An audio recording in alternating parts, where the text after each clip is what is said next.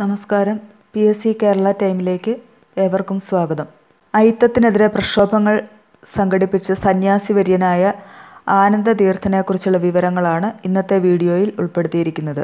ആയിരത്തി തൊള്ളായിരത്തി അഞ്ച് ജനുവരി രണ്ടാം തീയതി തലശ്ശേരിയിൽ രാമചന്ദ്ര റാവുവിന്റെയും ദേവുഭായിയുടെ മകനായാണ് ആനന്ദ തീർത്ഥൻ ജനിച്ചത്. അദ്ദേഹത്തിന്റെ യഥാർത്ഥ പേര് ആനന്ദ ഷേണായി എന്നാണ്. അദ്ദേഹം അന്തരിച്ചത് ആയിരത്തി തൊള്ളായിരത്തി എൺപത്തിയേഴ് നവംബർ ഇരുപത്തി ഒന്നാം തീയതി.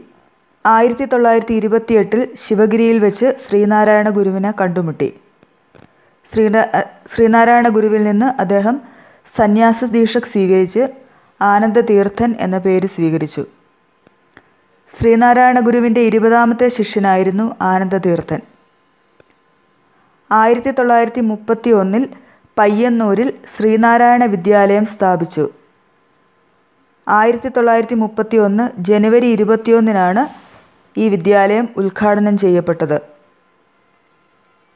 ആയിരത്തി തൊള്ളായിരത്തി മുപ്പത്തി മൂന്നിൽ അദ്ദേഹം ജാതിനാശിനി സഭ സ്ഥാപിച്ചു.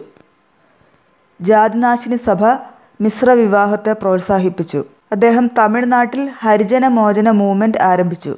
എന്റെ ആദ്യ ശത്രു വിവേചനവും രണ്ടാം ശത്രു അത് ആചരിക്കുന്നവരുമാണെന്ന് അദ്ദേഹം പറഞ്ഞു. ആയിരത്തി തൊള്ളായിരത്തി അമ്പത്തൊമ്പതിൽ അദ്ദേഹം ശ്രീനാരായണ ധർമ്മസംഘം ട്രസ്റ്റിന്റെ ആദ്യ പ്രസിഡന്റായി ഇന്നത്തെ വീഡിയോ എല്ലാവർക്കും ഇഷ്ടപ്പെട്ടാൽ ലൈക്ക് ചെയ്യുക. കൂടുതൽ കൂടുതൽ വീഡിയോകൾക്കായി ഈ ചാനൽ സബ്സ്ക്രൈബ് ചെയ്യുക.